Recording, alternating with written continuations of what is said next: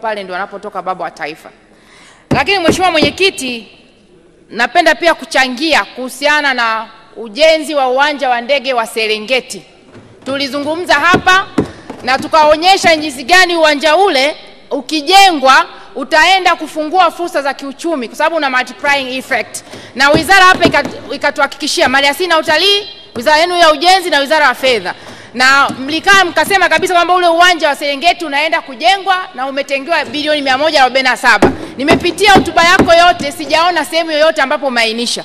Baada ya vile kusema, wananchi na wawekezaji mbalimbali walikuja Serengeti wakanunua maeneo mbalimbali ya ujenzi wa hoteli na vitu vingine. Na Mheshimiwa Mwenyekiti, kwa sasa hivi ilivyo, watalii wakitoka huko mataifa mengine wanaopita ruti ya huko wanashukia Nairobi, then wana drive na magari kuja Serengeti. Sasa kuna wengine wanakuwa discuss, tunapoteza mapato. Tunaiomba sana serikali ili kuweza kukuza utalii wa nchi yetu, ili kuweza kukuza uchumi wa Tanzania, mtujengee uwanja wa Serengeti na, na, na, na kwa kweli Mheshimiwa Mwenyekiti, tokea eneo allocation basi waweze wizara iweze kuchukua ihakikishe kwamba wanaanza walau kwa mwaka huu wa fedha wanatenga fungu kidogo kuelekeza hapo. Cha pili, Mheshimiwa Mwenyekiti, ni kipekee kabisa pia ni wapongeze madada mapilot ambao wapo kwenye Air Tanzania. Walikuja hapa jana, walikuwa kumi kati ya mia na sita. Bado idadi ni ndogo sana, tunatamani wafike 50-50, lakini ni hatua nzuri kuelekea kuelekea hapo. Mheshimiwa Mwenyekiti, mimi kwa mchango wangu zaidi nitajielekeza ATCL, muda wa kutosha nitaenda na kwenye TPA. Mheshimiwa Mwenyekiti, ni dhahiri kabisa kwamba mashirika ya ndege ili aweze kuwa endelevu na ajiendeshe kwa tija zaidi yanahitaji, kuna some components ambazo zinahitajika. Kwanza inahitaji uwekezaji mkubwa sana, mtaji mkubwa kwenye uwekezaji, capital intensive. Lakini pili, lazima tuwe uh, na udhibiti wa, wa gharama za uendeshaji. Mheshimiwa Mwenyekiti, usipokuwa na dhibiti na gharama za uendeshaji, hata ununue ndege ngapi sijui, lazima utakuwa unaona hasara zikijitokeza ziki- zikijitokeza. Mheshimiwa Mwenyekiti, kwa viwango vya kimataifa vya gharama za uendeshaji ambazo ni standards zinajulikana, tunajua kwa upande labda wa mafuta ni like uh, asilimia thelathini unakuta kwenye maintenance cost inakuwa basi asilimia ishirini. Kuna rasilimali watu asikati asilimia kumi mpaka kumi na tano na kuna vikosi vingine vidogo. Hivyo ni kwa mashirika yote haya. Sasa ili shirika iweze kuwa shindani like ya kwetu ya ATCL, ukitoa hizo hizo component za gharama ambazo nimesema, tumeipa burden tena kwa, kwa, huu, kwa hizi fedha za kukodi ndege kutoka TJFA. Mheshimiwa Mwenyekiti, mkataba huu ambao wa, wa kukodisha ndege na huu nitauongea very bitterly. Mkataba wa kukodisha ndege tumezungumza mara nyingi hapa mpaka hata katibu mkuu kiongozi kule aliongea hapa kuhusu kuhakikisha kwamba ndege zarudi ATCL. Ni mzigo mkubwa. Basi serikali ikasema imeweka huo mkataba kama caveat ya ndege zisikamatwe. Ndege zinakamatwa sana, zinashindwa hata kuruka kwenda kwenye vituo vya nje ambavyo ni vya kimkakati. Mathalani, Mheshimiwa Mwenyekiti, ndege zetu zinashindwa kwenda Joburg ambapo kwa zinatengeneza hela nyingi sana kuanzia 2018 August Kila mwaka tunapoteza takriban 37 bilioni kwa sababu haturushi ndege kwenda Joburg. Kwa nini? Tunaogopa zitakamatwa. Sasa huu mkataba ambao tumeweka ambao ni mzigo unasaidia nini? Ukiangalia pia tunakataa kupeleka ndege London au Ulaya, tunaogopa zitakamatwa. We are losing money, hell of money. 13 bilioni zinapotea.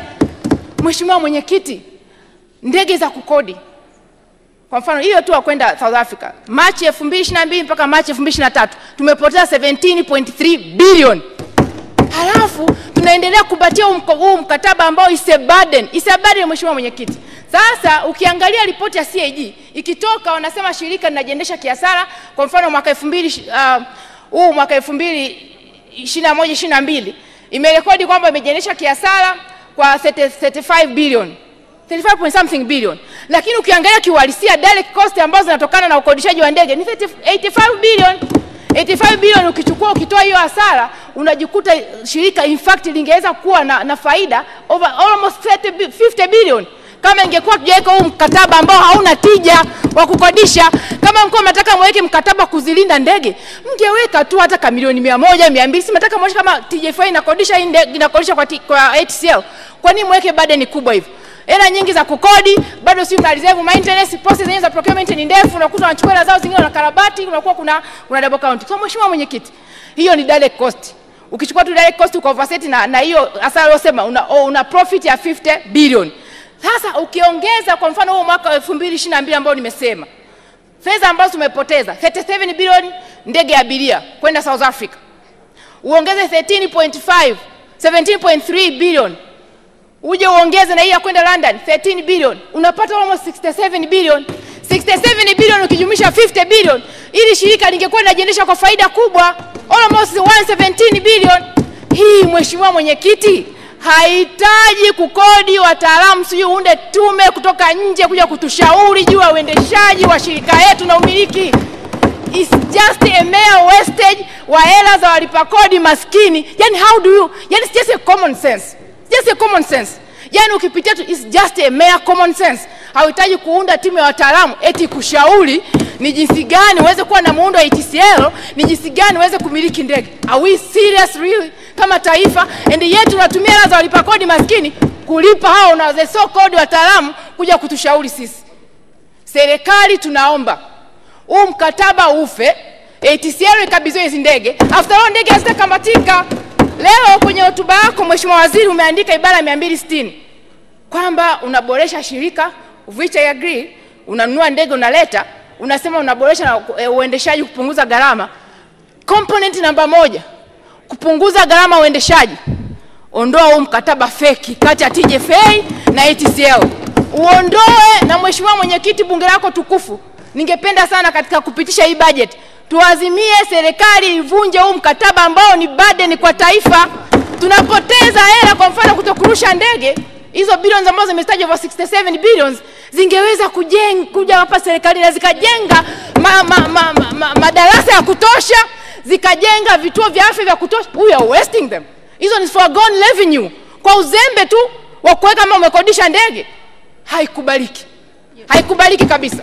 Lazima huo mkataba uweze kufa, Mheshimiwa Mwenyekiti, haikubaliki. Lakini kingine kingine, Mheshimiwa Waziri, ukitaka kweli shirika letu ilikuwe kuwe tukishaondoa huo mzigo sasa, kwa sababu huo mzigo upo, lakini unaandika kwamba nataka iwe competitive labda na shirika kuna na mashirika mengine. Mheshimiwa Mwenyekiti, Mheshimiwa Esther, kuna taarifa kutoka kwa Mheshimiwa Festo Sanga. Uh, Mheshimiwa Mwenyekiti, kutokana na mchango ambao anatoa dadangu Esther, tayari Mheshimiwa Rais alishaunda tume ambayo inashughulikia kuondoa ndege kutoka TGFA kwenda kwenye shirika la HCL ili kuondoa hizo burden ambazo anazizungumza. Kwa hiyo tume tayari ilishaundwa na serikali ishachukua hatua kwa ili Mheshimiwa Rais aliliona kwa jicho la karibu sana, ndio maana ameshaunda tume tayari kwa ajili ya kuondoa hicho anachokizungumza. Asante. Mheshimiwa Esther, taarifa unaipokea? siipokei kwa sababu hata wanaomshauri Mheshimiwa Rais hawaitendei haki nchi hii, kwa sababu hii tume imeuzwa kwanza, imeundwa eh, kwa muda kwa kitambo, alafu kwanza hata walifikiaje kumshauri Mheshimiwa Rais watu, wa, wa, waunde tume wakati this thing was obvious, Mheshimiwa Mwenyekiti, na sidhani hata wakati wanaunda hiyo tume kuleta mkataba huu waliunda hayo matume ambayo wanatumia hela. Ndio maana nasema tusipoteze at the time fedha. Unaunda tume, unaleta watu sijui kutoka nje, they are using money wa Tanzania. Mheshimiwa Mwenyekiti, Mheshimiwa Mwenyekiti, ATCL ukiangalia ukilinganisha mfano na Ethiopia yale kutoka Afrika tu hapa hapa wenzetu wale kwanza, Ethiopia Airlines wenyewe ni kampuni ambazo zinajiendesha zikiwa sanjari na kampuni zingine hodhi ambazo kwa mfano kwenye uendeshaji wa viwanja sijui mambo ya in-flight catering na mambo mengine mengi ndio wangu wa Taarifa. Mheshimiwa Esther, kuna taarifa kutoka Mheshimiwa Deo Sanga. Mheshimiwa Mwenyekiti, ukisema wanaomshauri rais wanamshauri vibaya, rais huyo huyo ndio wamemshauri, amefanya maridhiano na ndio maana mambo yanakwenda vizuri. Asante Mheshimiwa. Mheshimiwa Esther, taarifa unaipokea?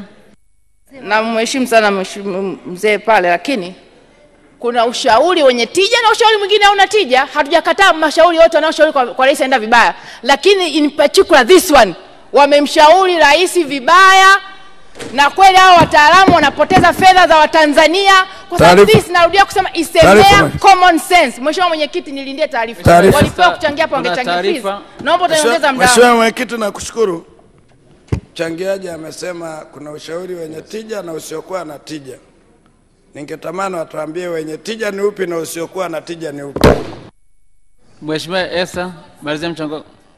Watanzania wanawasikia kwa sababu wanaweza tu wakatumia their common sense.